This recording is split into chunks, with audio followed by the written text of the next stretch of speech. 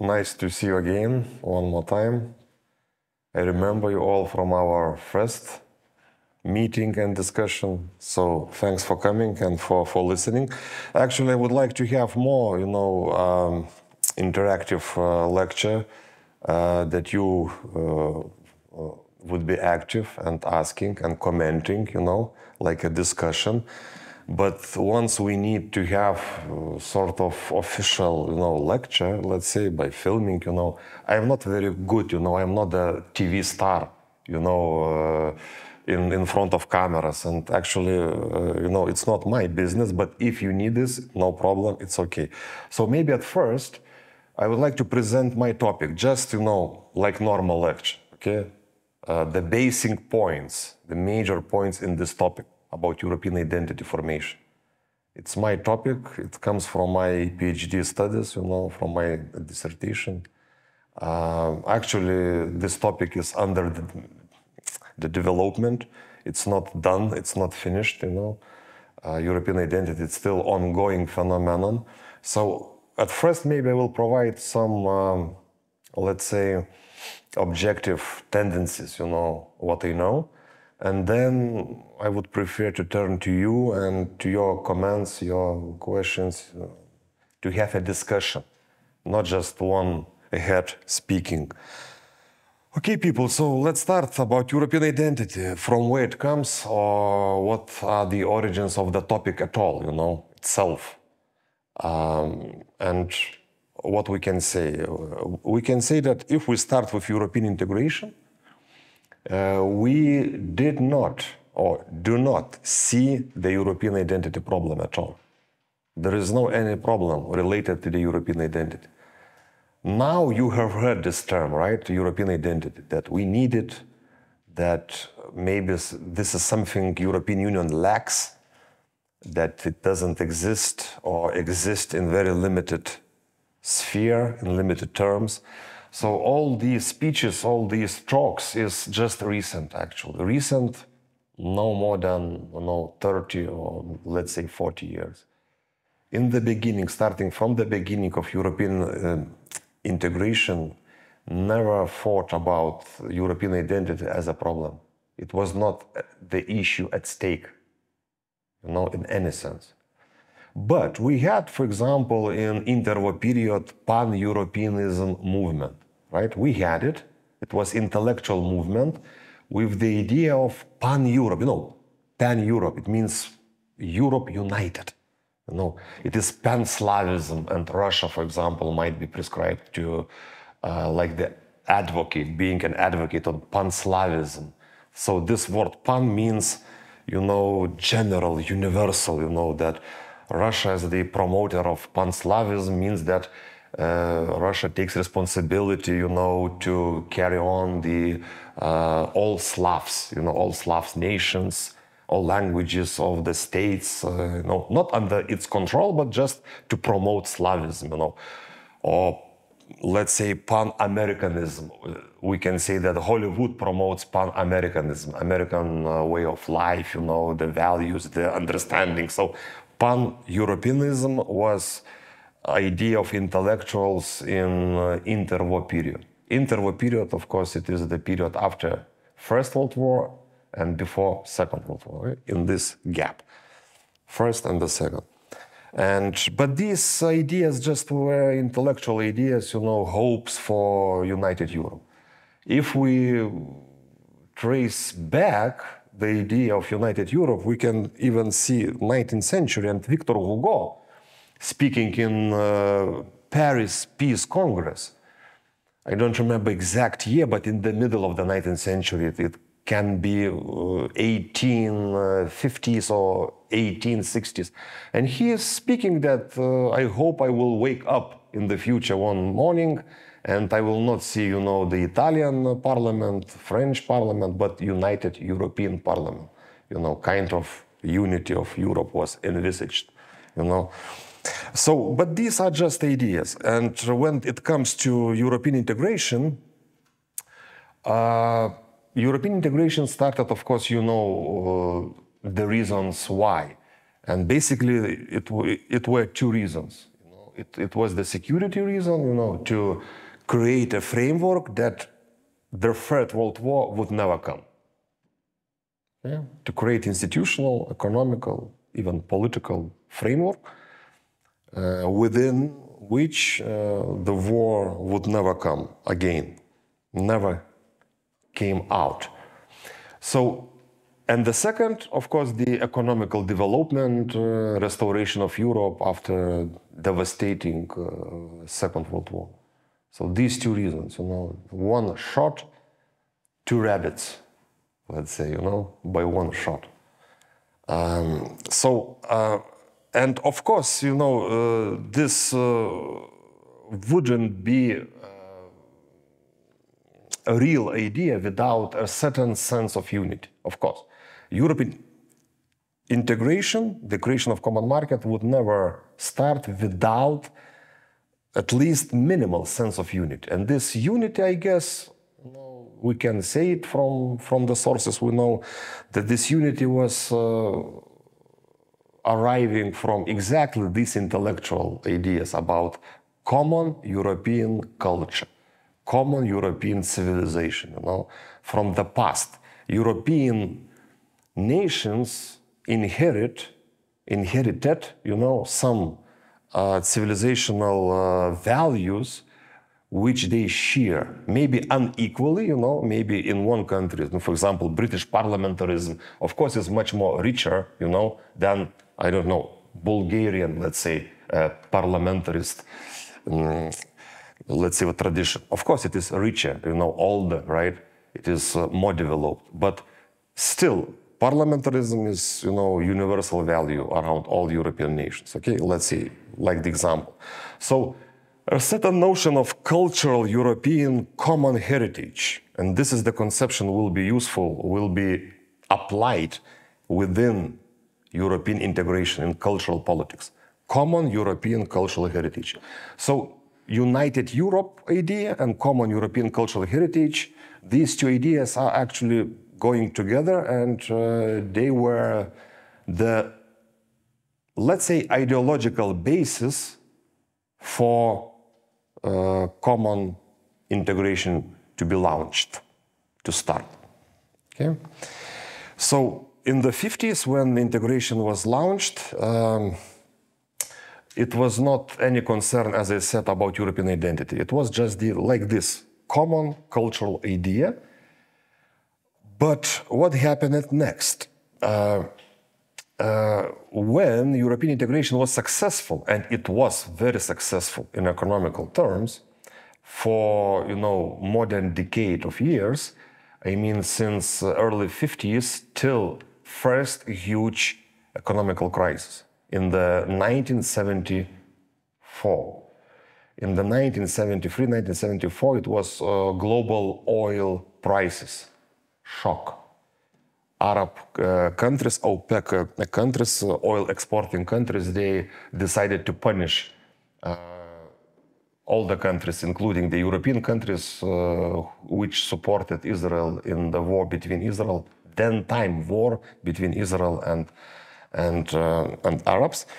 And this resulted in huge damage, economical damage, European countries experienced.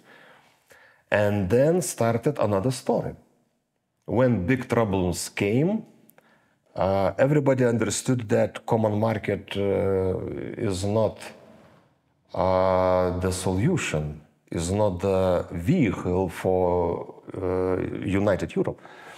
So we can think like a stages. Early 50s, the first stage, early 50s, the European you know, integration start, Paris Treaty or Schuman Plan, 1950, or European Coal and Steel um, uh, Community, or the first treaty, 1951, and the second European Economical Community, 1957. In the 50s, it was established three communities, plus Euratom, right, on the nuclear energy. So three communities we have created in the 50s. So starting from these, ending with uh, 70s, so more than 20 years, European integration showed huge economical advantage. Economical growth was like economic know, a boom. Do you know what is boom in economics? It's very fast development, macroeconomical mm, development. Uh, so uh, when it, it, in this stage, no talks about Europe, European identity at all.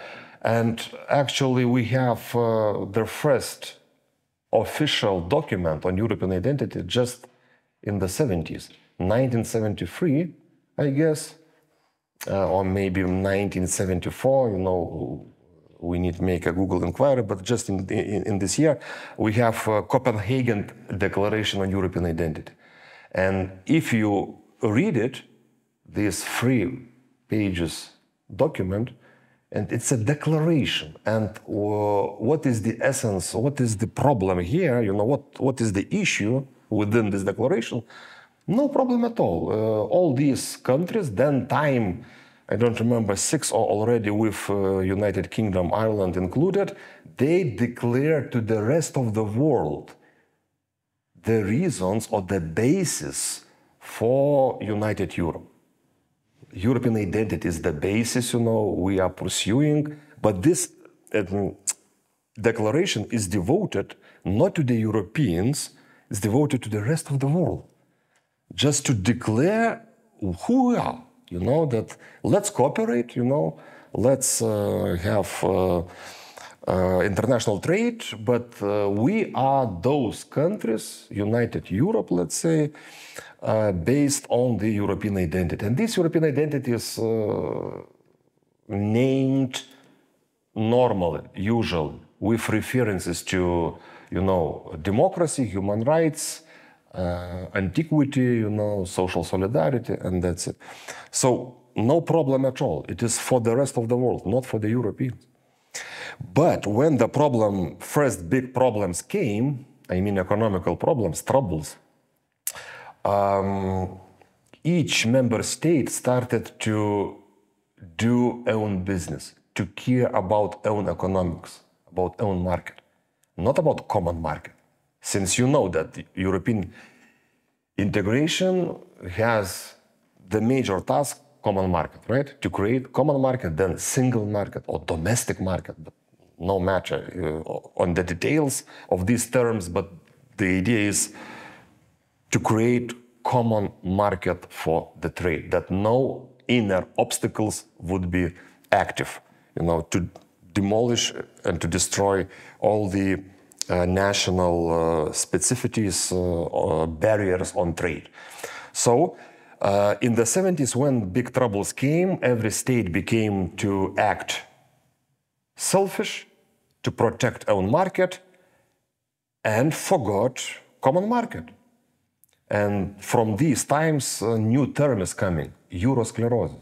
Do you know, eurosclerosis means as in individual sclerosis. Do not remember, right? Don't remember. Not remembering. Uh, uh, have problems with memory. So eurosclerosis. And exactly eurosclerosis helped first time to state European identity as a cultural problem. It's not political problem yet in the 70s, right? We are talking about this period, 70s. But it's already became or becoming, you know, at the time, a cultural problem. And you know, maybe you have heard very famous uh, slogan from that times. It was uh, said by Jacques Delors, uh, former then time commissioner of European Commission, no, chief of the Euro, uh, of the European um, um, Commission, and he said, "You cannot fall in love with free market. You need something else." So you cannot fall in love with common market, right? We cannot create Europeans. We cannot create sense of unity, identity of Europeans based on solely on common market. We need something more. What more? What kind of this more? The answer, culture.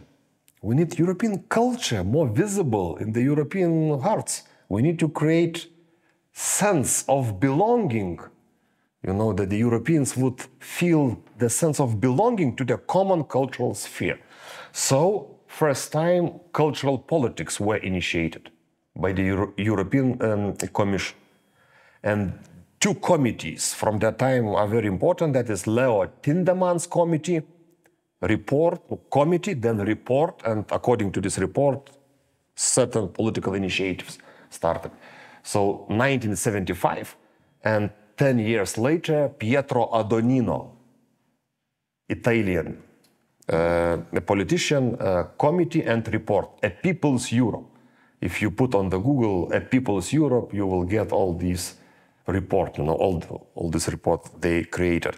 So what they, uh, what they proposed, they proposed uh, more culture into the European integration, European common culture. It means symbolism. Then uh, they created, uh, actually not created, but took from European Council the flag and stated that this flag would be entire European uh, community, let's say union flag. So what we know as the European Union flag, you know, this blue flag with yellow stars, right? This flag became exactly as the consequence from the cultural politics, became European Union's flag from these times, from these committees' initiatives. So flag, anthem, do you know anthem?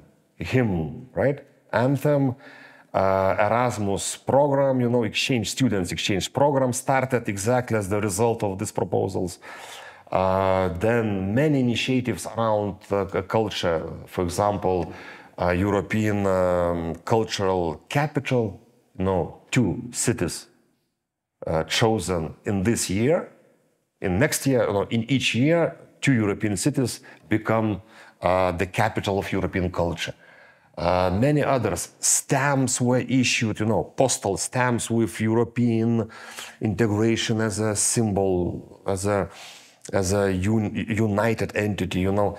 Uh, entire calendar, uh, European Woman of the Year, European Sport, uh, um, um, Sport um, um uh, Collective Team, Sport Team of the Year, European uh, uh, festivals, you know, European, European, European.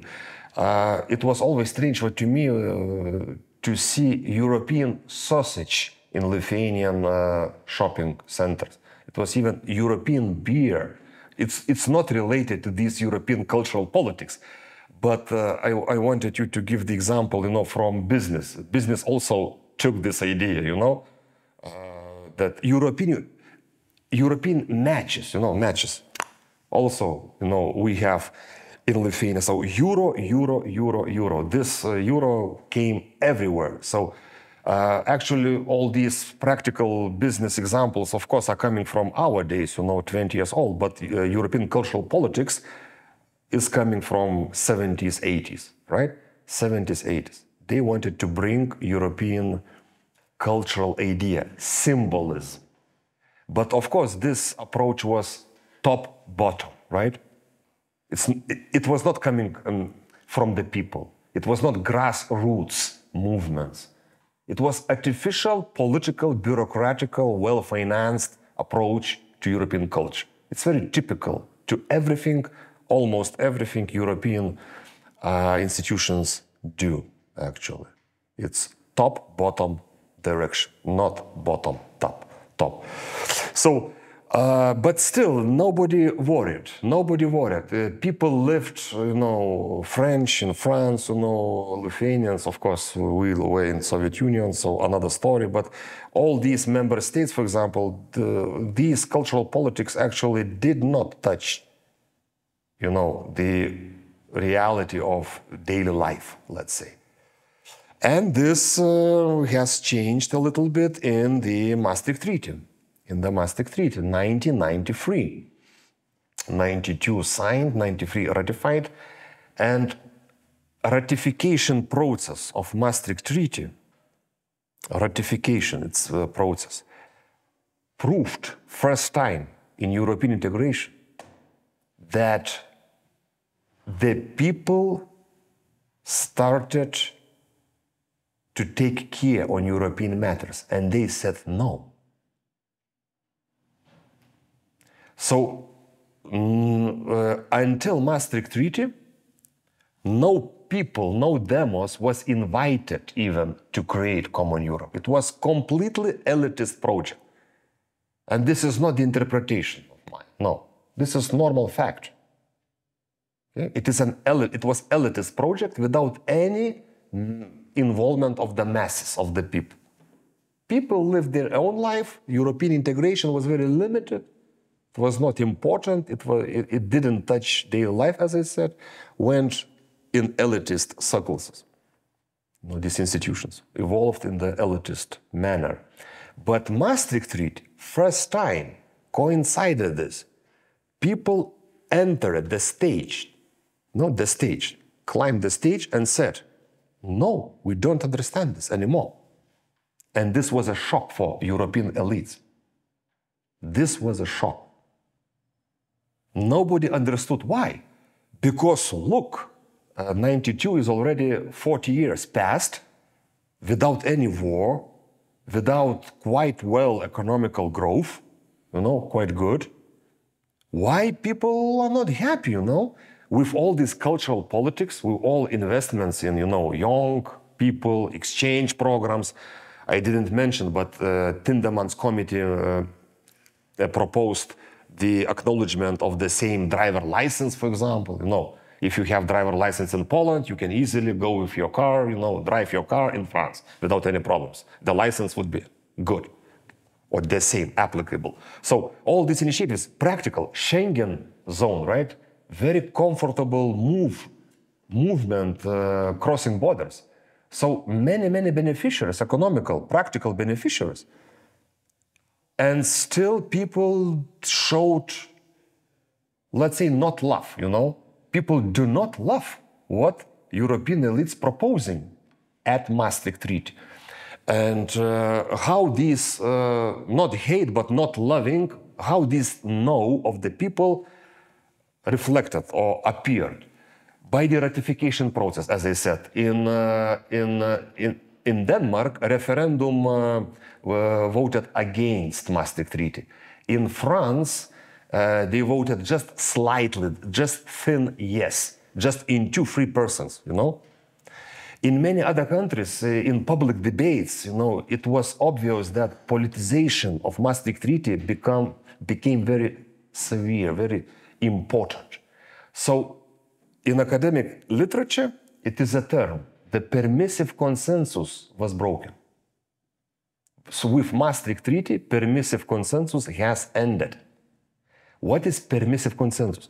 Permissive consensus since 50s up to early 90s, up to Maastricht Treaty, meant that the people did not actively participated in the European matters, as I said already, right? Did not participate, but they led it. They did not object it. They led their national elites to develop European matters, institutions, you know, dialogues, create some common markets, you know, uh, issues, etc. They led, even though they did not involve them, themselves into that. So this consensus lasted for 40 years. But first time in the Maastricht Treaty ratification process, European elites understood that it is no valid anymore. Okay? It was troubled people entered the political stage and said, no, no, we, we do not understand anymore this and we do not like it. So, Maastricht Treaty in academical literature is pointed as the cornerstone for European identity to become first time political problem. So we have relative three stages. I resume now, okay? I make a conclusion first that in the first period, since the beginning, since the early 50s, up to first economical crisis in early 70s regarding global oil prices shock. In this successive period, European identity was not a problem at all, was not an issue at all. Nobody cared what is European identity, what should be European identity, what might be the effect of European identity, whatever, no worries at all. Then, second period, starting from this global economic crisis since 70s up to Maastricht Treaty for 20 years, European identity was somehow related with culture, right? With European cultural politics. They started cultural politics. No, they uh, brought European symbolism in the in the European integration. You know, including uh, your program of Erasmus exchange. I uh, actually advise you to use it because I used lots of time, more than 20 times, probably 25 or even you know around this. I use this program. I love it. But we will talk about you know this later on. Uh, whether Erasmus program creates sense of European identity a little bit later. So uh, this second period, cultural politics, you know, also it was bureaucratic approach, top bottom approach, right? So it did not touch the hearts of the people, you know. People didn't see anything, and permissive um, uh, consensus lasted. But Maastricht Treaty in the early 90s finally uh, breaks this silent permissive consensus and brings European identity as the political issue. And if you see, for example, political congress, you know, political uh, sciences uh, conferences, no one conference in the 90s, even in the first decade of the 21st century, went without the section of European identity. Each political sciences congress, sociological sciences congress, had this section on European identity.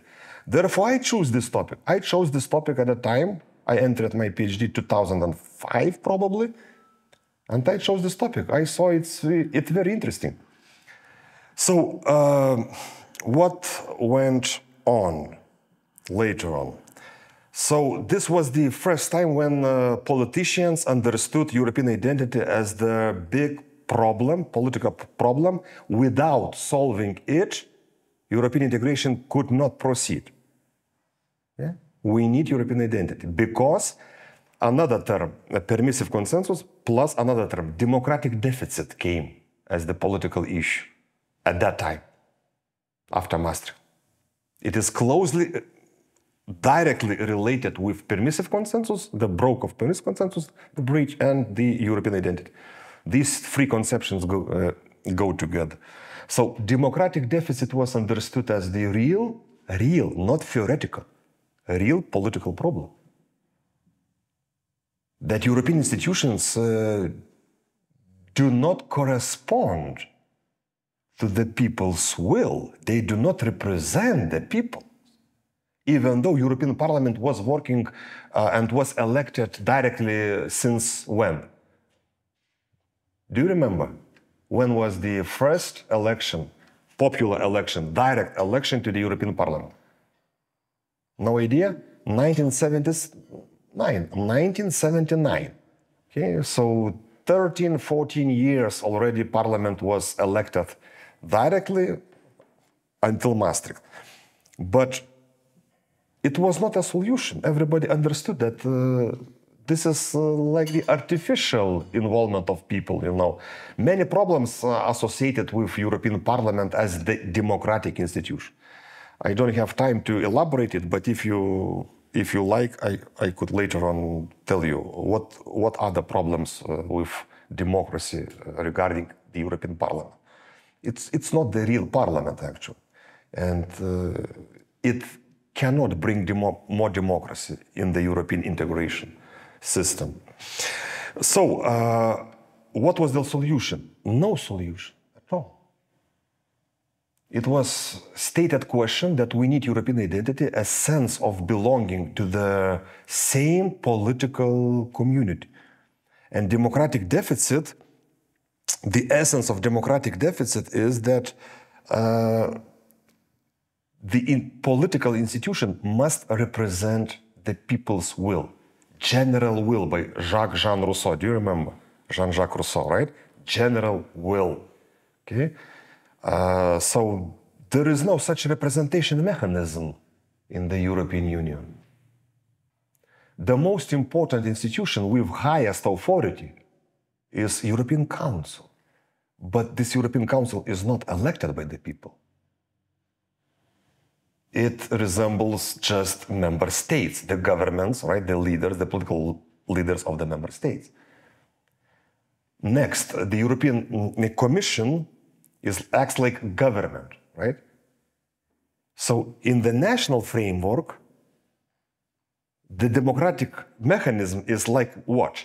That the people, right, they vote for the parties, these parties who win forming government, government implementing real politics, which touch the life of people, right? We, we, which uh, reflect the needs of the people, right?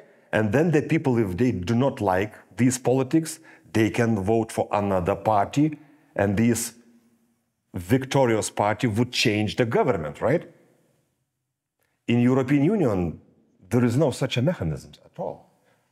European Council doesn't form politics, you know, doesn't form European Commission, you know, directly. It's not elected, one problem. Next, it, it doesn't form it. Actually, it, it, is, it is formed by member states. You can say that uh, European Council, formally European um, Commission uh, is appointed by the, uh, by the European Parliament. But the European Parliament is not forming the policies of European, uh, of European uh, Commission as the normal parliament does, right? Polish parliament is responsible for creating government, right? And uh, the government uh, implements politics which was were proposed by the party who was elected uh, as a victorious, right? So it is the link in European Union framework, institutional framework. There is no such a link because European Parliament doesn't form the government, the European Commission doesn't form. European um, Commission has own agenda, own agenda. So. Um, uh, so this democratic uh, deficiencies was first time understood as the big political problem. First time after Maastricht. And European identity was understood, considered as the possible solution. Because as in national framework, you know, the nation or the people has common sense of fate, common sense of origin, common sense of belonging uh, uh to the same culture, then we need thinking what's going on, then we need this similar on the European level. That we need European identity, which would be basis for legitimacy of the European politics. That is the logic why European identity is needed. So we see during this short uh, course or history of European integration regarding the identity issue, as I, you just presented, we see that um, this cultural idea of European identity doesn't help, right? This intellectual, cultural uh, idea on common European cultural heritage doesn't help what the European Union needs.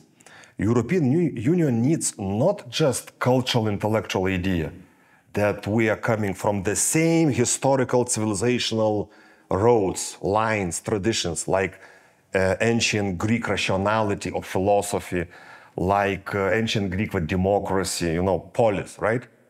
Polis, do you know polis, Greek, ancient Greek polis?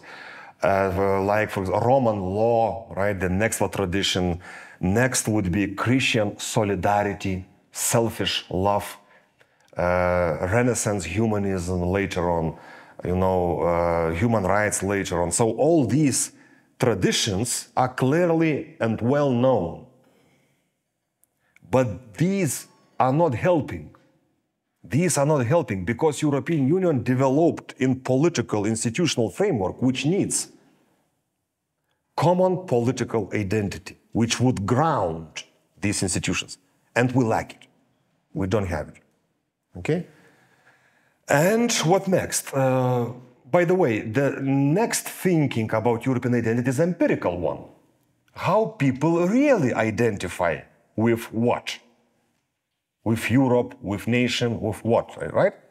And this empirical evidence very well, again, prove that Europeans never were Europeans. okay, uh, the Eurobarometer have you heard about Eurobarometer? What is Eurobarometer? It's a sociological institution. It is the research institution funded and belonging to European Commission. And it was established in early 80s. And since then, it's for 50 years already, right? They are exploring, they are committing uh, sociological um, uh, surveys, asking people what they think. Do you know sociological surveys? How many of you would vote for Prawo i Sprawiedliwość? How many of you would vote for PO, right? So, sociological surveys. So they started to ask about European identity, and they had quadro question system. To whom you or to what you are identifying the most? And the answers was uh, nation, only nation, uh, nation, then Europe, the second one, then um, only Europe, and the fourth local, I guess. So from these four, always for entire history of Eurobarometer uh, from sociological surveys, the evidence comes that the majority of the of the member state societies still identify with the surprise national identity. National identity rules. And it goes from 60 to 80 persons. So it's absolute majority. No. Do you know how much percentage uh, uh, comes from identity with only Europe? Let's guess. Make a guess. How many persons? Identify how many people, I mean, in Italy, in Poland, in Hungary, in United Kingdom, then time the member of the EU, in Germany, in France, in the Netherlands. How many people identify themselves looking historically from the 80s up to, you know, our days? How many, how, what percentage? With only Europe. Exclusively with Europe. Just make a guess. Stanislav. 60? But it cannot be mathematically. If 60 or even 80 persons identify with national, you know, history identity, so what it is left? It is left, it cannot be 50 or 60, right? Because it would be already 120, so it's impossible. You need to fit to 100%, right? Scale two free persons. Two free persons identify themselves with uh, only Europe, only European. And of course, they include probably, probably, most likely, they include those people who are directly related, their lives are directly related with Brussels life, right? With salaries, with um, family life, with the um, vocation time, you know, with everyday life the bureaucrats, technocrats, etc. They express um, European identity. So it is a failure. It's a failure, actually. After, you know, such decades of attempts to create European identity through cultural politics, right? Through massive uh, finances in, in the communication, in public sphere, to create European public sphere, if you, you know, check, for example, databases, scientific databases, put the keywords European identity, you would see a massive, a bulk of literature.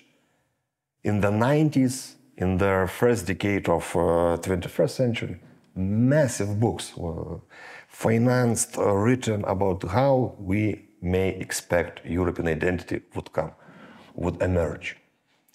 And my dissertation is one of this part of this bulk of, of massive literature. So uh, after all these attempts, um, no results, no results. European identity did not rise. By the way, what was expected? I don't know uh, what what's your knowledge about European integration history, you know, or theories. Uh, have you heard about European integration theories, for example? There are two basic theories which governed the field for entire 50 years. And still they are valid. two basic European integration theories. First is neo-functionalism. Neo-functionalism. Ernst Haas, German origin uh, American political scientist, wrote a book in uh, 1958, United Europe, and presented, you know, the vision of neo-functionalism, uh, what we expect to be in the future, uh, how European integration would evolve. So they fought, they proposed spillover conception. Spillover. It means the cooperation in one field would inevitably lead the states, member states, in the cooperation to another field. From this another field, they would find themselves like in trap to cooperate in the third field, in the fourth. So, you know, the close, close, close, close, this ring would close, would, would make uh, closer and closer all these member states, you know? Neo-functionalism logic. Cooperation in one field would inevitably push into the cooperation in another field. And so, in the future, the states would cooperate more, more, and more, closer, closer, and closer. By the way, do you know that famous thesis from uh, 1951, the Treaty of European Coal and Steel Community, to create an ever closer union of by the people of the people. Okay? An ever closer union of the people. This was the task by common market, of course, through common market, but the ever closer union. So neo-functionalism envisaged this path, this course, right? And they were right. They were right. Basically, they were right. What we saw in European integration, it was exactly this logic. Cooperation expanded, expanded, expanded, and it is still expanding. Uh, it is not your class, but I, I was teaching already to LME, uh, LMM uh, program uh, uh, post-diploma studies, you know, like master studies, uh, students. and the basic issue we have discussed was how European um, legal principle became valid, became legal. What principle? Of European autonomous legal order. Do you understand the message? Autonomous. It's not British, German, French, Polish, but it's autonomous. It's a supremacy principle of law, of European law. How it evolved? And the answer is uh, it evolved not by the treaties, it evolved by neo functionalism logic. It evolved, it was created by the European Court of Justice. By implied powers doctrine. Know, implied. Do you understand implied? It's not written. It, it's not expressis verbis, but it's implied. It's standing on the treaty, looking to the task, to create the task. So this task implies to us the power to implement this task. Do you understand the logic? Implied power doctrine. So European Court of Justice created this supremacy principle of the European Union law over the national law. So this evolved during the 70s, the 80s, and still evolving. And this is a problematic aspect, one of the most problematic aspects, whether European Union law has autonomous legal order. Big question. And I presented some cases, very fundamental cases, for, um, and for example, German um, German Federal Constitutional Court, the highest court in Germany, objected to it. Objected. Brunner case. It is famous in the title of Brunner case. If you like to make your own inquiries after this lecture, uh, you may, uh, you know, check Brunner case, 1994. Very famous case very interesting and very valid, how to say, important case. So, uh, German court, the highest court, no higher court in Germany, this is the highest court, explored the question whether Maastricht Treaty is not violating Germany constitution. And his, it solved the problem wisely, how to say, because the judges perfectly understood that if the answer would be no, or sorry, yes, it violates German constitution, then it would mean the end of European integration. Do you understand the danger, the risk of saying yes, of the answer yes, it does violate Germany's constitution? So no one could expect such proclamation, you know, such such a decision. So it didn't say it. It say uh, no, it doesn't violate. Maastricht Treaty doesn't violate Germany's constitution, but we, the court, felt a need to consider the issue, the legitimacy issue of the, this autonomous legal order, of this supremacy principle of the EU law. And it considered in very specific way. In short version, if you ask me, I, I can, and if you have time, more uh, short uh, mm, sentences on this issue. The court said since European communities, European Union, Union lacks European demos, European political community, there is no European political community. People, come on, there is no. It's obvious. They said. Of course, in, in diplomatic language, in legal language, not like me now. But the essence like this, the message is like this. There is no European community. What ultimate authority comes from then.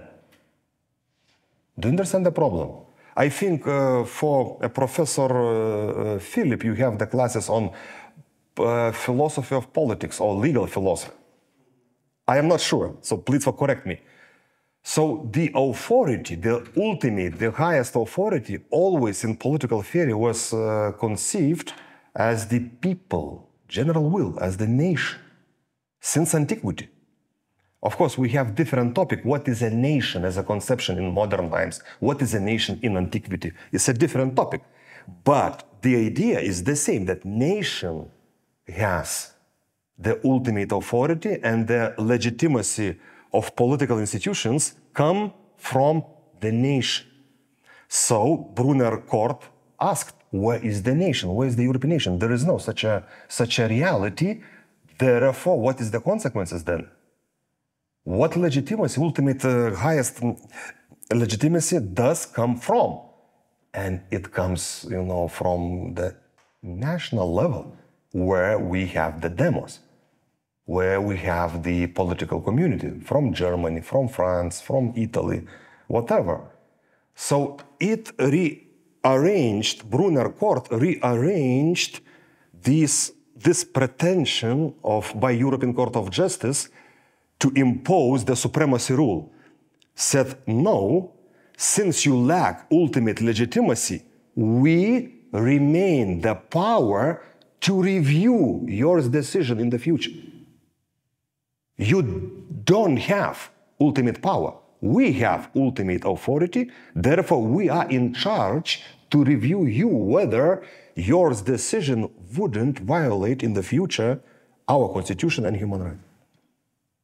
Very similar um, decisions were made by other member states courts, by Italy, Italian uh, constitutional court. Very similar. So member states constitutional courts remained, they wanted to remain, to keep the highest ultimate decision power over European Court of Justice. And the reasoning was based on the, on the identity, on the, on the highest authority question. Um, so, uh, and by the way, uh, uh, this legal uh, overview, I can finish with, with such sentences like this European Court of Justice attempts to create autonomous legal order or the supremacy principle of the EU law over the nation states law, it was not like normal. It was not like, you know, everybody expected, everybody knew it, everybody uh, were happy with it. No, it was called, in, at least in the scientific literature, especially uh, by the famous American constitutionalist uh, Joseph H. Weiler, very good name and very uh, notable name.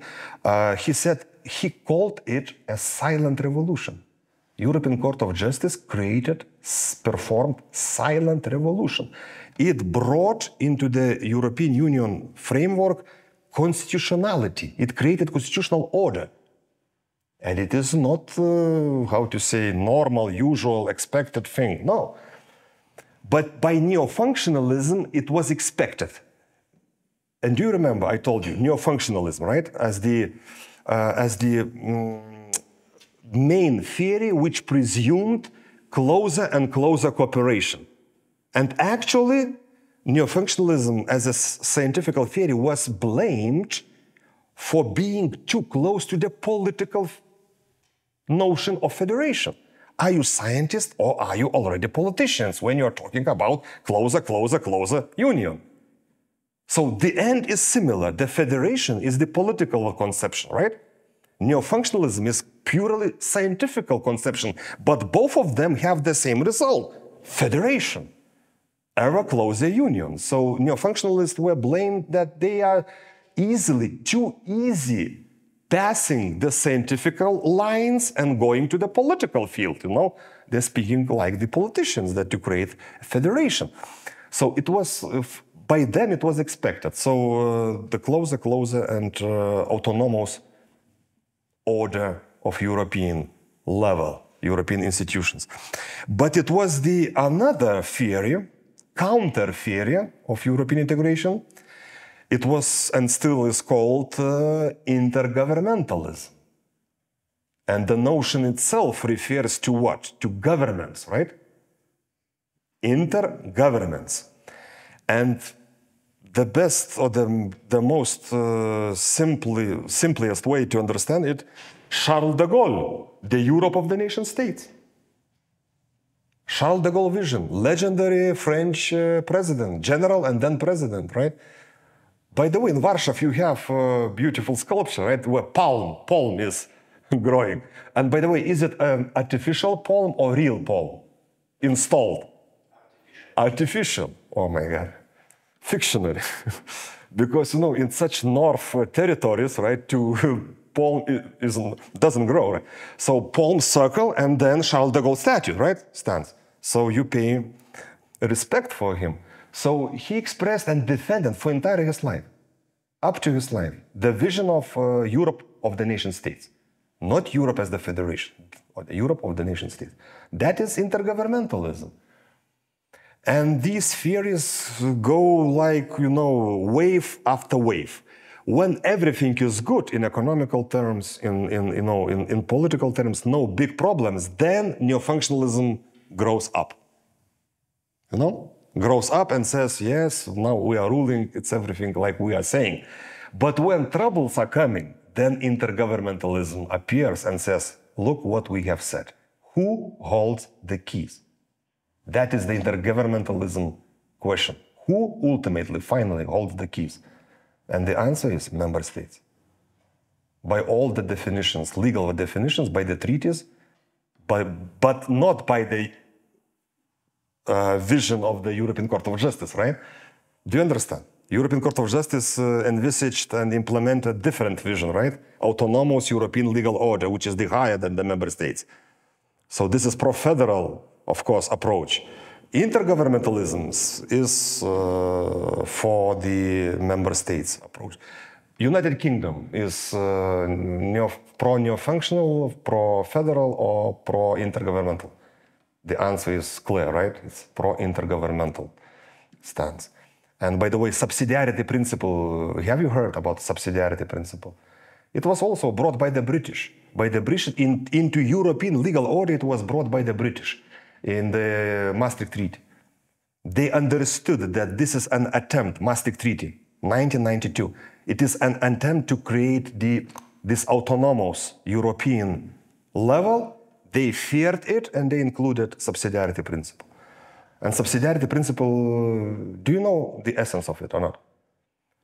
Subsidy, that the European institutions may act only as they help, not as their dictator, right? Not as the imposing the will. No. If the local level, or local level here means nation states or member states, can do better, European institution must stop. It cannot go further. Okay? Subsidiarity, defending of the competence limits. You know, the drawing the uh, uh, um, competences limits uh, by the European Commission or by any other European uh, institution. Of course, this principle in strict legal terms is applied only to those competences which are not primary competences. Primary competence means common market. In common market, uh, subsidiarity is not being applied. No. Because uh, the member states already gave sovereignty powers to create common market. So subsidiarity applies only in different. No, for example, in family law, for example, it is subsidiarity still valid. What is gender? You know, what is education? Uh, you know, all these. Uh, what insecurity politics? Subsidiarity applies. In foreign affairs politics applies. But British, therefore, the exit of United Kingdom was uh, the loss for those states which prefer intergovernmental approach to the European politics. It was a huge loss. We lost a friend. We lost, how to say, big power, big advocate for the limiting this autonomous European order. Do you understand what I'm talking, people? Is it still clear? Okay. So, uh, and I should finish because uh, because uh, you know time is time and time has uh, limits. But I should finish like this: uh, if we if we look um, in the recent tendencies, what are the recent tendencies uh, in this field, in this topic, European identity, etc. we see that. let me express myself like this not even any lesson was learned by European institutions about these problematic aspects of superiority, you know, of the European level or member states. No one lesson was learned. Even after Brexit, we see just the narrative which is strengthened towards an ever closer union. Okay? During the Brexit, we saw a shocking, I would say, a shocking approach to United Kingdom by European political elites, including our national level elites. Uh, I mean, it was uh, not hidden disgust. It was not hidden um, blaming British it was not hidden or expressively, you know, appearing hate even towards British. It was thinking not how to, it was thought not how to make Brexit more effective, you know, more simpler, but how to punish United Kingdom. It was not a debate between long-standing colleagues as it was previous. Before Brexit, United Kingdom was presented like the our friend, you know, Europe, one of the pillar of the European Union, you know, one of the major countries. What is right? That British also are Europeans, etc., etc. During one night after Brexit happened, during one night, the position has changed completely. 360 degree, you know, changed and British never were Europeans. They always were bad Europeans, you know. We need to punish them.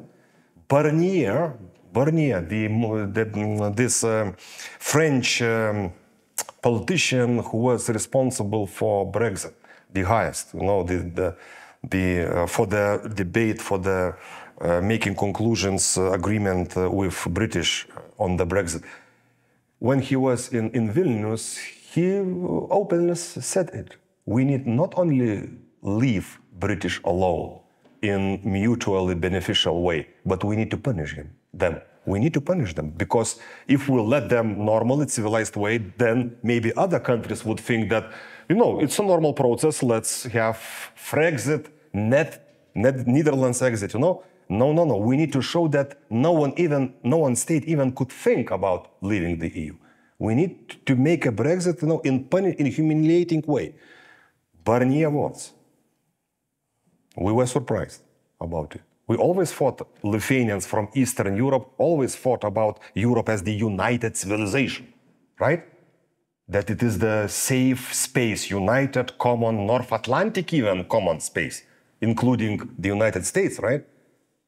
Because we have an interest, the West, to be united against Russia.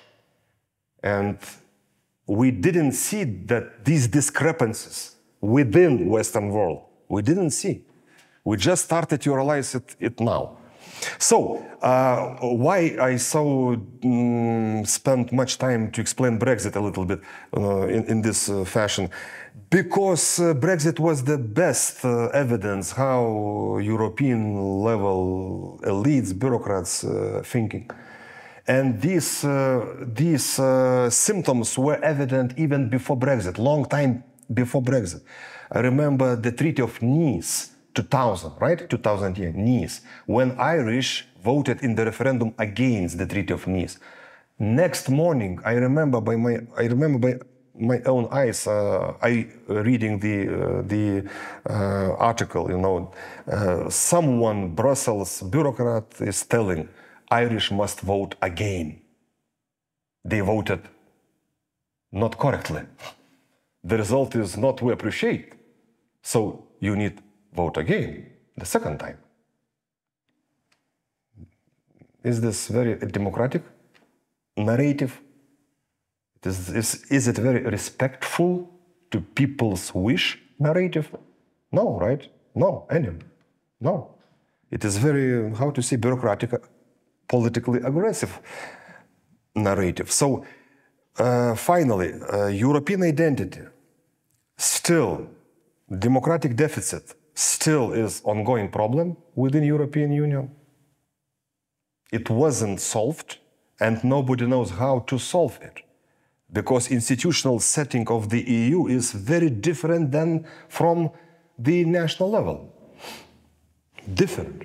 Parliament has different role. United, uh, European Council is different. No one analog is in the national framework, you know. So uh, democratic deficit still is ongoing problem. Uh, bureaucratical approach to politics, it technocratical approach, it's still ongoing problem. European identity is still uh, non-existent or existing in very, very limited uh, sphere, in limited terms. And what we see in the most recent years, I mean in COVID-19 pandemic, in the changed agenda by the European Commission with climate change, I mean. Do you see the protests in Berlin, in Germany, in, in, in Netherlands? Have you seen this protest? No? Massive protests. Climate change, the politics which affects agriculture. Okay, they want to close uh, entire sectors of agriculture. People are protesting. In Vilnius, today, yesterday started, still continuing today up to Friday. Huge farmers' protest. Vilnius center, Lithuanian capital center, is occupied by tractors. Do you know tractor? Huge machines by agriculture, occupied. Hundreds, maybe thousands, I don't know. Uh, if I were in Lithuania, I, I would participate there. So uh, everywhere it is, you know, in, in Netherlands, in Berlin, in Germany, thousands of, of tractors are protesting. Tractors, I mean farmers with tractors, of course. In Lithuania also. So, changed agenda by European um, um, uh, Commission towards climate change, towards genderism, coverage into slogan of equal opportunities, fight against discrimination, you know, packed in the in the vision of human rights, let's say. you know, genderism, new things, never visible, never actual in the history of European integration, never.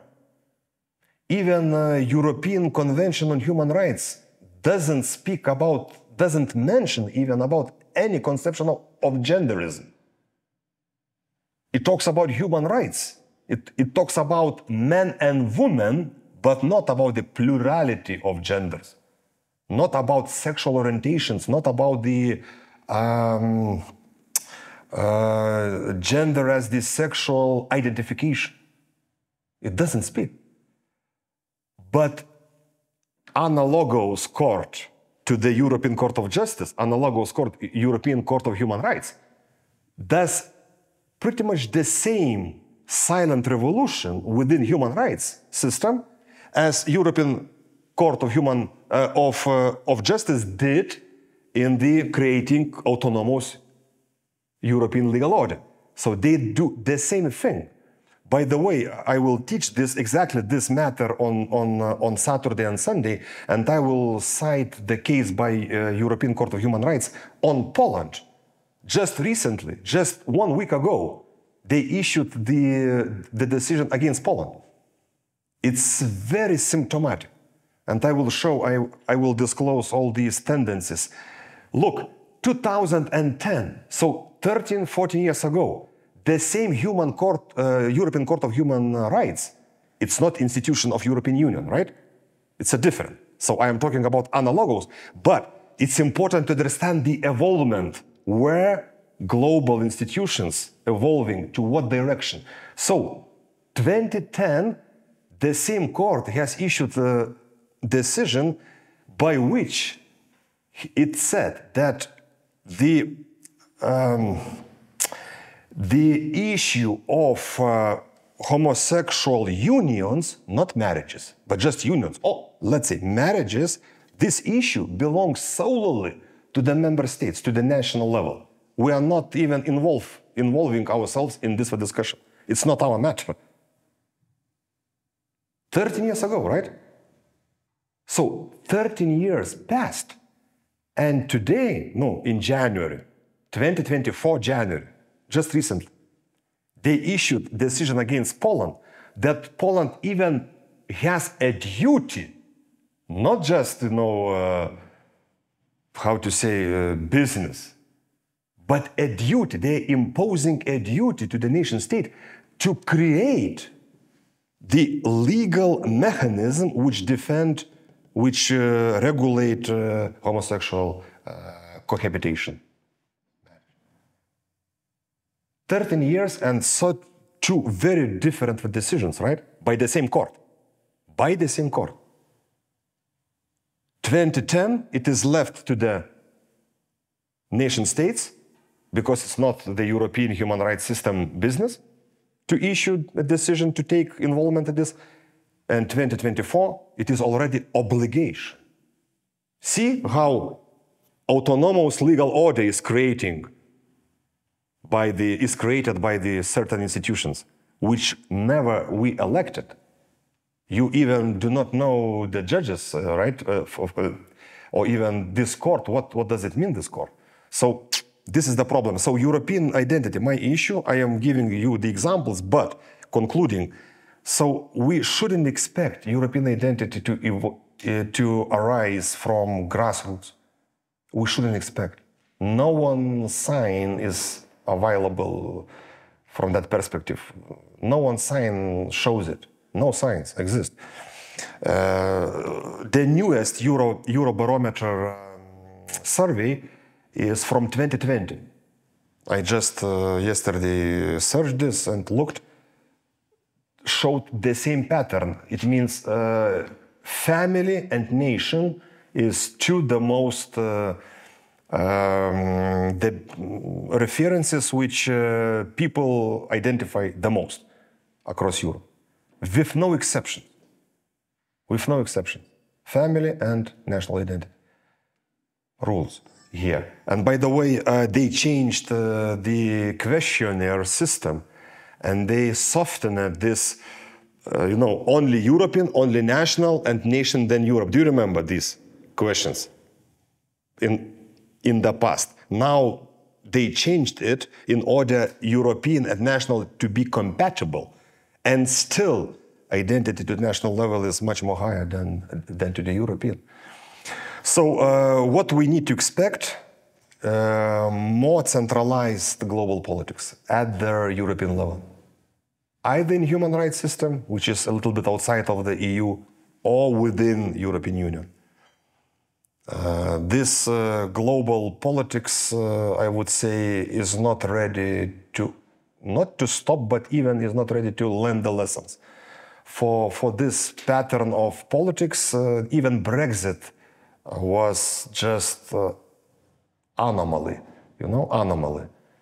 It was not important and the thing we must forget as soon as possible. but problems I revealed to you you know, democratical problems, representation problems, identity problems, they go since the beginning, right? The permissive um, uh, consensus. Uh, so all these problems are deep and uh, they are in contrast with centralization of global uh, political will. They, they have conflict here. So it's inevitable to have conflict. It's inevitable to have conflict uh, in our ongoing years. And uh, probably short one sentence, probably the the solution is to to find somehow cooperation model, uh, modus vivendi, to cooperate between national level and the European level, because you cannot, we cannot say that you know, since it is democratic deficit, since it is uh, rising power of global institutions, then we need to close it at all. No, the states needs common market the states, member states, needs common market. But on the other hand, they need to balance uh, democratical identity issues also. And I wouldn't think that Poland would accept this, uh, this decision by European Court of Human Rights. I wouldn't think. It, would, it, it creates problems. It creates problems, legal problems. And nation state uh, will defend. Probably it will defend somehow, as Brunner case showed Germany Federal Constitutional Court has defended. So, as we see, final sentence, as we see, European politics, it is uh, the field where a constant battle is going on between national level and European level in mutually, you know, interchangeable way, you know. It's a battle we, we shouldn't think about European uh, politics as the finished politics, ended politics, and everything is already decided. No, it's not decided. It's an open ended political clash or interest. In certain sense, it is normal. It is normal. But in certain sense, uh, it is very, very conflictual. That's it. Thank you, people, for attention. Sorry for going through through uh, through time limits, uh, people please ask, comment, because your professor needs to take you to another class. Okay. Any ideas? Any?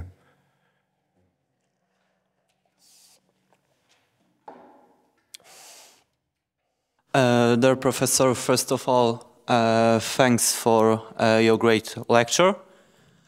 Uh, I have one questions about uh, currently uh, attempts of uh, unioncrats, uh, unioncrats, not Eurocrats, because from my point of view, European Union is not Europe.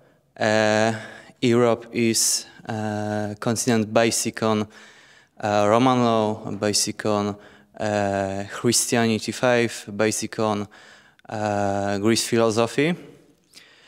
And uh, I would like ask you about attempts of change union treaties because now uh, we will have uh, this uh, 260 seven uh, amendments of um, union treaties uh, who postulate uh, common defense policy, I mean uh, defense union, common uh, union army, uh, also Yes also uh, common European education, include uh, gender propaganda in school, and uh, I would like ask you, uh, what do you think uh, did uh, Uniocrats uh, achieve the success? Did European Union make more, more centralized and and it's and it is the beginning of the era where when um, the Europe uh, reject uh, national sovereignty, or maybe uh, it beginning uh, a good time for uh, sovereignty movements, for uh, new nationalism or something. Thanks so much. Yeah, but you know, as we already have told and have discussed, you know, uh, it was always the tendency toward federalization. It was always. It, it is not new. What is new is, of course, the the extent, the essence, the content. You know, it's new. We never heard about genderism in the European politics before recent, you know, years. We have never heard about the abandonment of veto rights. Veto right is established in by the Luxembourg Compromise uh, I didn't tell because of the limit of time, but Charles de Gaulle uh, recalled out all French representatives from the European institutions in 1965. And this is known as empty chair crisis. Empty chair. Nobody sits at the European meeting from France. France withdrew all the representatives. Empty chair crisis. And this empty chair crisis ended with Luxembourg Compromise next year in 1966. And this Luxembourg Compromise established French uh, Charles de Gaulle vision, veto right. When the state sees vital citation, vital national interest, then it may veto this uh, common European initiative. Now, these new proposals, they are seeking to reverse this veto right. right? So, uh, as I told you, these tendencies are dangerous. I mean, dangerous in what sense? In democratic sense, in subsidiarity sense, in legal sense. They, but we need to understand these uh, uh, two, uh, two lines. First is this long time perspective towards federalization. There are big interest groups inside Europe which wants federal Europe very strong, big interest groups. They were always there, always. You know, they haven't appeared just recently. No. So this one, and then second, that uh, uh, you cannot have federalization line course towards the federalization without solving a democracy uh, deficit problem. You cannot have. And I don't remember whether I wrote you on the desk, Dani Rodrik, uh, by our last meeting. Do you remember? Uh, the paradox of globalization. Dani Rodrik. Uh, he finds the same idea as I'm talking right now, you, that you cannot have uh, the strong and stronger, closer and closer um, approach to global politics, you know, without solving democracy deficit, legitimacy problem you will have another, another autocracy then. And then as you envisage, you know, as you, your prophecy goes on, then probably the more you have strengthening global level, the bigger gap of democracy, and then following is the bigger uh, conflict arises and uh, the biggest fear for movements to uh, to uh, come out as the protest against it.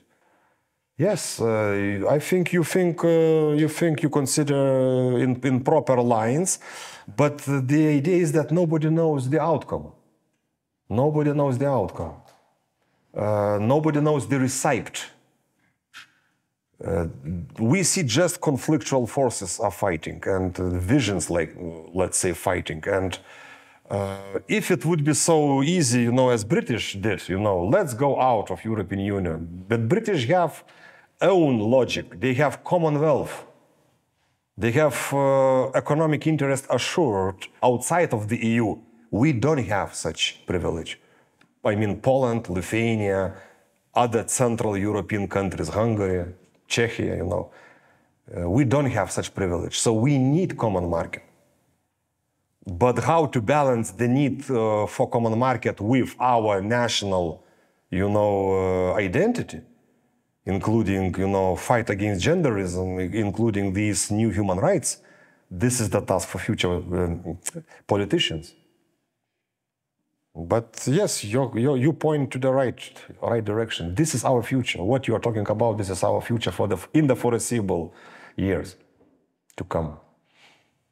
Okay, people, what, what else can I help you by my comments? Uh, well, the nations agreed for what has been written in treaties. And now mm, the rules established by European Court are literally breaking the treaties. And my question is why none of nations is saying that you've just crossed the line, and the line is the treaty. And um, I think that the rules should be changed by the changing the treaty and not just established by one party of the agreement. But you know, your words are, uh, how to say, are very no, the, that the European Court of Justice uh, broke the treaties is very radical conclusion. They, it, this conclusion wouldn't be accepted by the European Court of Justice, right? But and, and, by many, many uh, European legal scholars, they wouldn't accept it. They would say that uh, it uh, showed activity by interpreting the treaties. And it created European legal order out of the treaties, not by breaking the treaties, but out of the treaties, from the treaties. Okay? But it is the matter of interpretation, of course. It is a matter of interpretation. Uh, for example, Joseph Weiler said that it is silent revolution, but in positive manner. That you know, it's no, they made it, but it's debatable, but basically it's acceptable.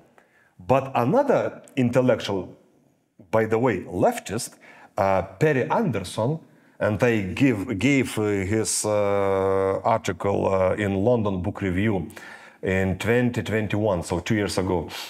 I gave this article to the other students by LLM um, program uh, to consider. He calls this what you told even in more radical way. He calls it like a coup. It's not like silent revolution. It's not like, you know, debatable argument. It's a coup A coup. Do you, do you understand what is a coup? Coup is, you know, the term comes from military taking power by military force, you know.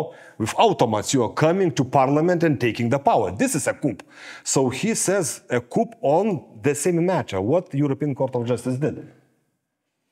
So I provided you, you know, two visions. Uh, you may choose what vision. It's a matter of interpretation. Uh, but what regards your question, you know, the essence of the question, that uh, no matter how we interpret, the problem is, right? What to do with the treaties and what to do with the court's decisions and the political institutions like European Commission activities. You know, they easily cross the borders with genders.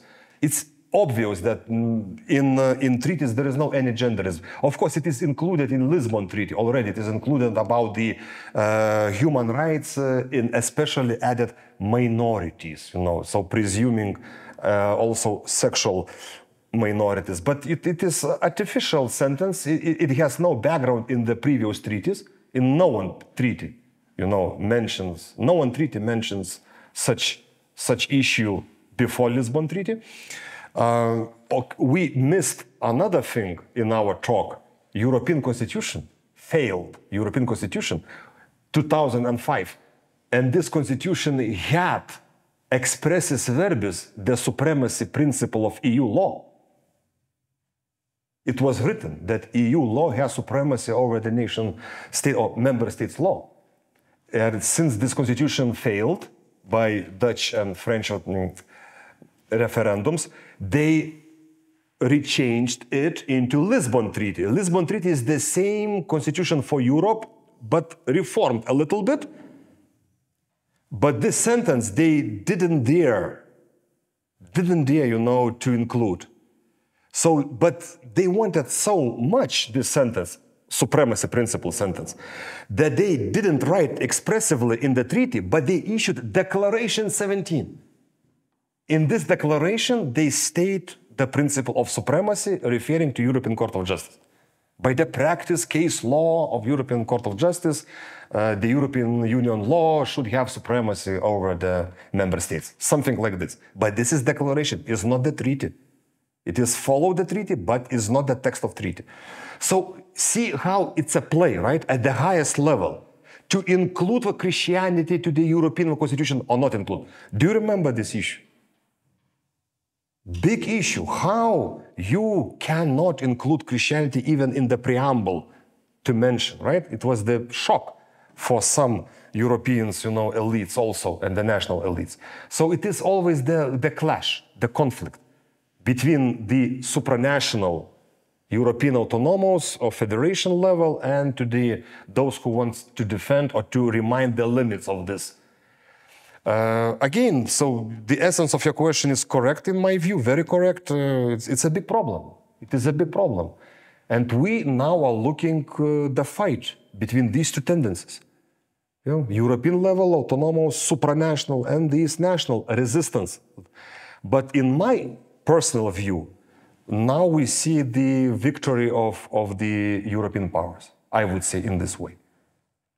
Because uh, the narrative is becoming stronger and stronger, you know, towards the uh, supremacy, towards the sovereignty of the European legal order. And, and from the, uh, since British left, uh, no one expressively, publicly, you know, is ready to defend it seems like this. Of course, it's very primitive, my uh, uh these uh, uh, considerations, but but British after British Brexit, no, they left. We see empty space a little bit for the defending the limits of EU competences.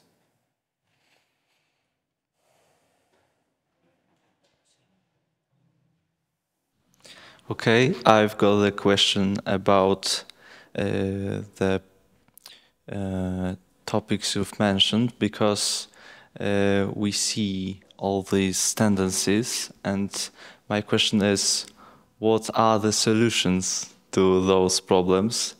If you gave, if you are able to give us at least a draft, it will be, um, it will be great. Uh, do we have to concentrate on the culture aspect or do we have to really be based about the power of the governments and of the uh, European structures themselves? Okay, very official question, no, uh, but uh, how I think, you know, first thoughts which come to my head, look, Soviet Union, let's I do not compare Soviet Union with the EU, but let's take the example of Soviet Union. One of the most brutal systems in human history, one of the most brutal. You could draw the most mustaches on Stalin's picture in the book, and you and your family, for this, could be deported to the Siberian lands. You know?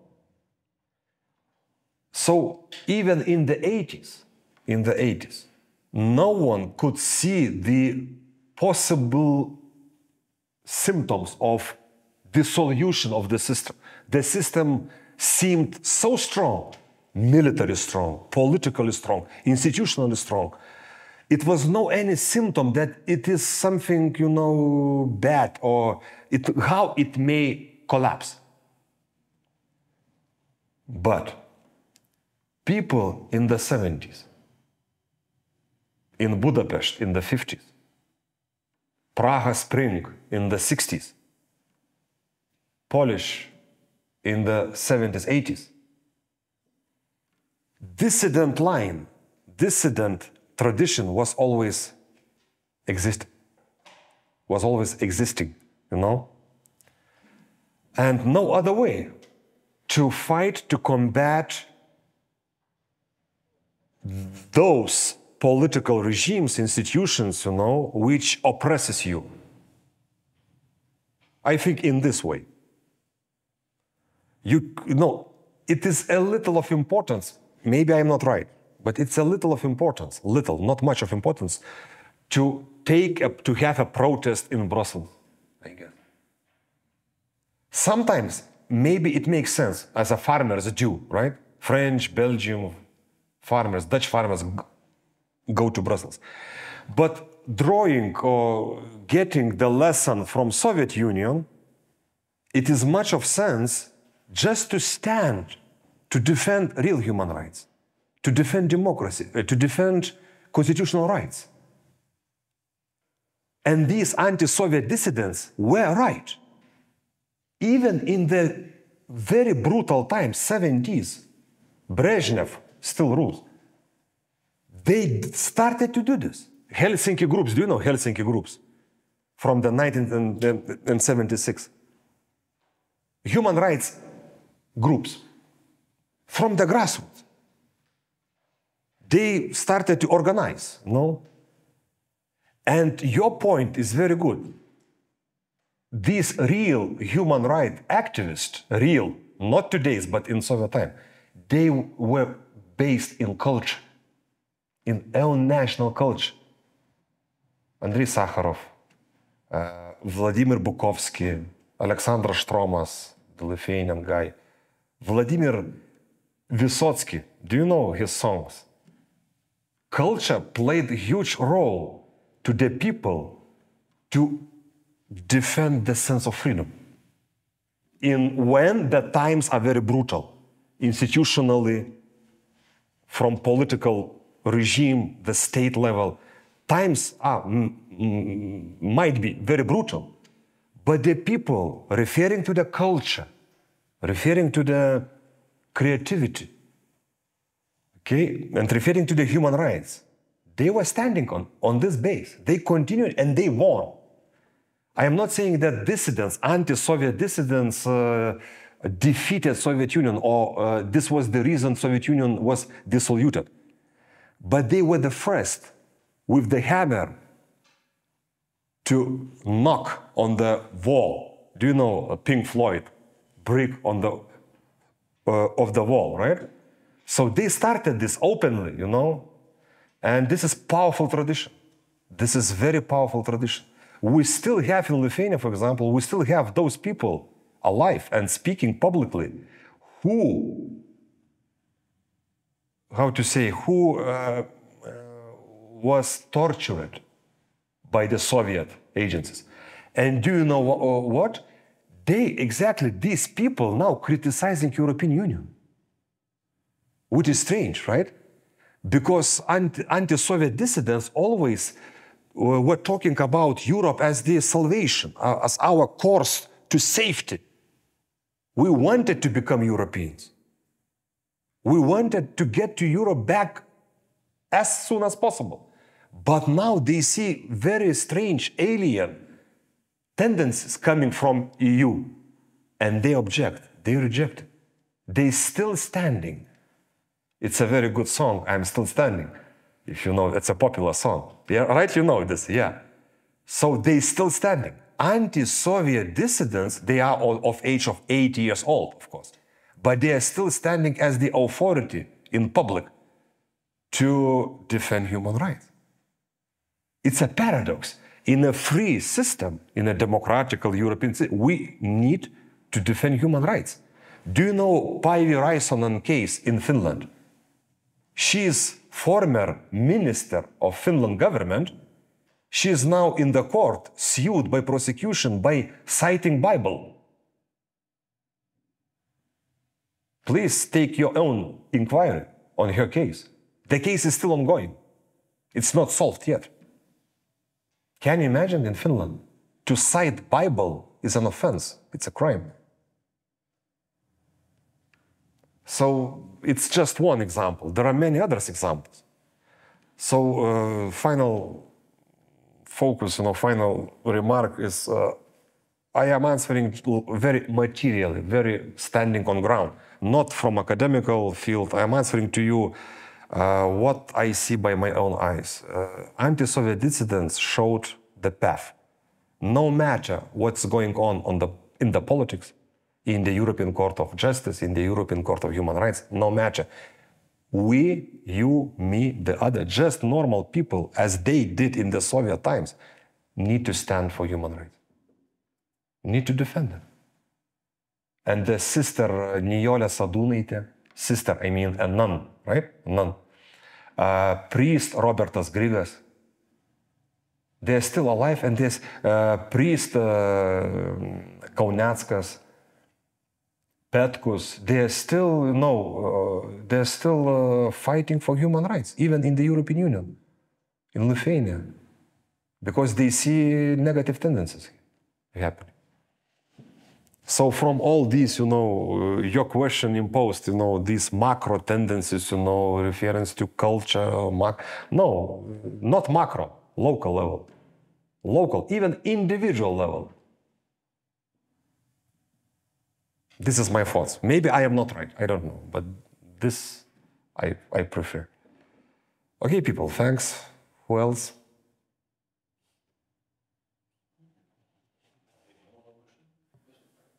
It's already five after five. Oh, it's okay. If yeah, then good. Oh. lecture was so uh, so interesting. May I have my phone? Uh, okay, thank you. So your lecture was was so important and and so uh, so helpful to our students, I think. And uh, you, I suppose you don't know that, but some of our students is going to uh, is going to have their own students conference at the end of uh, February this year, and the conference um, will be devoted to the uh, Europe uh, to the idea of the Europe of nations. So I think your your lecture is extremely up to date for uh, for them. And apart from that, uh, is uh, and it might be very useful and, and it will be useful, I hope, for for all our students because they are they are also preparing to the exam exam of the uh, the European law. This semester they have such an exam, so I think your uh, your speech, your lecture, your information you have delivered here, I think, um, are and will be still very beneficial for, for all of our students. So Andrius, thank you very much for your for your lecture. Uh, as I said, that was um, uh, extremely interesting, and uh, we stay in touch. I hope you will uh, you will visit us in the future as well. So thank you very much once hope again. also. So thank you for accepting me, and uh, I hope that uh, what I have said, you know, what ideas I have presented, will be useful somehow in one way or in the another way, you know.